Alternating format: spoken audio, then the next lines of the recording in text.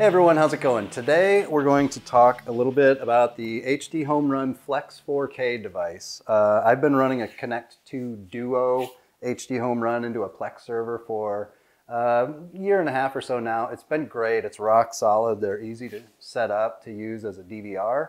Um, but we've recently moved and we have more channels, which means I'm recording a little bit more and it's, uh, it's been conflicting with our with our live TV viewing. So I just wanted to add a couple more tuners. Uh, the nice thing about these is I'll I will now add four tuners, but I don't have to remove the original two. So I'll have six tuners instead of just having the four that I'm adding, uh, which should never be a problem with an antenna television.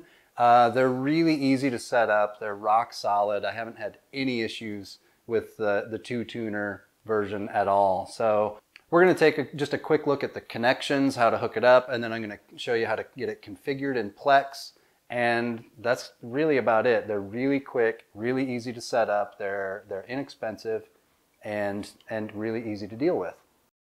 The box I purchased is uh, Amazon refurb and is sealed by HDHomeRun. And inside the box, you've got the, the really basic setup guide uh, and warranty information, the, the HDHomeRun device itself, it's uh, just about the size of my palm. The connections on the back are just RF, USB, Ethernet, and power. Underneath the tray, you've got, of course, the the various connections, the power cable and uh, an Ethernet cable. One thing of note: this box does not include an RF antenna cable, so you'll you'll need one of those. But overall, it's got everything you need except for that one cable, and you might not even need that depending on your setup. So connection of this thing is really simple. You've got your antenna input, there's a USB output. Um, this is capable of being its own DVR with it, when, if you use it with the HDHomeRun software, so you don't need any other uh, computer or anything running. You can just plug a USB hard drive into there and run a DVR in their software. As Ethernet, this is how it distributes it to your Plex server and throughout your network. And um, depending on how you have it set up to your mobile devices wherever you might be, and then a power connector. And that's it. It's the connection of this literally takes about three minutes. It's really simple. Um, as long as you have all the wiring where you need it to be, it's really handy to have network uh, hardwire so you don't have to run a long Ethernet cable close to where your antenna is.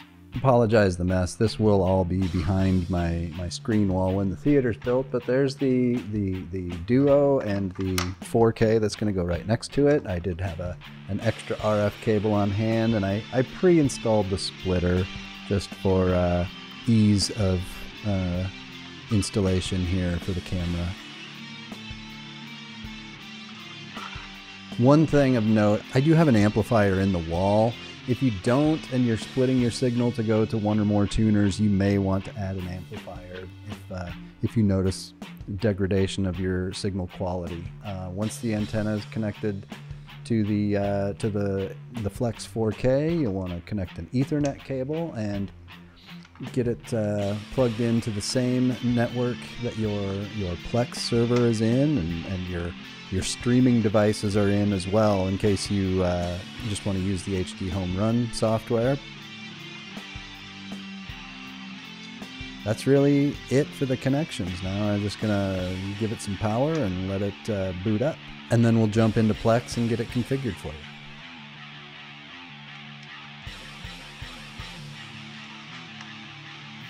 One of the other things about the Flex 4K is, as its name might suggest, it's 4K compatible. It's ATSC 3.0 compatible, which there isn't a lot of that being broadcast yet, but when it becomes available, I'll be ready for it.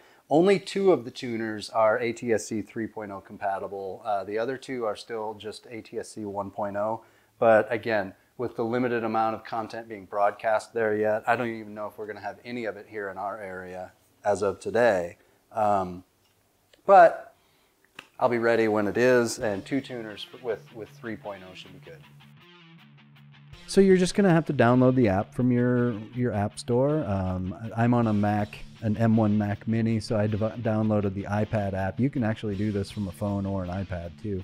Um, or pretty much any device, but you download it, load it up, and the screen here, you'll notice that there's no image. The, the, the, the display was fine. It just did not record that in the screen capture for copy protection. But if you go to devices, you can see it's already seeing it there. And um, it's, uh, it's also still seeing the Connect Duo that I've been using. Um, but I'm going to go back into the menu here and go to channels. And uh, whoops, I'm gonna go to the to the channels setting so I can make sure that I have scanned all the channels into the new device and that everything's working properly. You can see them all listed here. Um, I'm just gonna hit scan, speed this up a little bit so you don't have to wait through the whole thing. Um, but then you've got all of the channels favorited. I'm just favoriting all of the ones that I want to make sure that Plex sees from my menu. Um, and I'm gonna block the ones that I don't want Plex to bother with. And then as you get down to the bottom, you'll see channels here in the 100s, and those are the ATSC 3.0 channels. Um, so those are going to be kind of the, the, the, the new next gen TV. So over in Plex, there's my guide, and I'm going to go to the, the settings tab here and scroll down to the live TV and DVR settings. Um, and here you're going to see, here's my, my original Connect Duo tuner. I'm going to add a new device. It automatically sees the, the Flex 4K. So I'm just going to make sure everything's set here. It's an antenna. And I'm going to enter my zip code to make sure that uh, it's syncing with the, the correct program guide. And here's the channels. And this is where you would map channels and customize what you're seeing in the guide. Um, again, I'm going to scroll all the way down to the bottom. Everything looks looks the way I the way I wanted it here. Um, so let's continue to scroll down to the bottom, and we're going to look for these uh, ATSC 3.0 channels. You'll see they're not mapped, so I'm just going to select this one. I'm going to map it to 4. I'm going to map 104.1 to 4.1, just so that it uh, attaches the right programming and scheduling guide information to that. So, and then we go through and we do it accordingly with all of the new channels. Okay, oh, need to make sure I'm using the digital channels because the new tuner does not see the analog channels. And and one more, and there we go. And we click continue. Got everything mapped correctly. Okay, and now we will click continue and it didn't seem to do anything. Get back to the top, and there's a problem. Um, I tried this a couple more times. I'm not going to make sit through it. Uh, again, I can't get it to, to go, so I did a little research to find that Plex is not com compatible with uh, ATSC 3.0 channels yet. So I just go through here and add it without trying to add the channels that Plex can't deal with, and the guides here. Everything is up and running just fine. I've got all my channels in the guide. No ATSC 3.0 channels. Um, we'll, we'll, wait. Uh, hopefully soon they'll have that. You can see here it's refreshing the guide data. And if we go back into the settings and look at the TV and DVR settings, you'll now see that both tuners are listed here. It shows how many available tuners on, on each device. Um, if there was a recording or a live viewing happening, you'd, you'd see a red indicator for which tuner was using it, but it's really as easy as that. That's the, the HDHomeRun Flex 4K. That's the, the quick connection process, the quick and easy setup process, and adding it to your Plex DVR system. So what do you think? Are you running one of these HDHomeRun devices or, or a different brand? What, what are your thoughts? You have ATSC 3.0 uh, programming in your area. What are you seeing on that uh, on those signals? Are you seeing full 4K? How's it look? Is there any of the the extra information that's supposed to be available? Just curious what what other markets are doing with with that capability as well.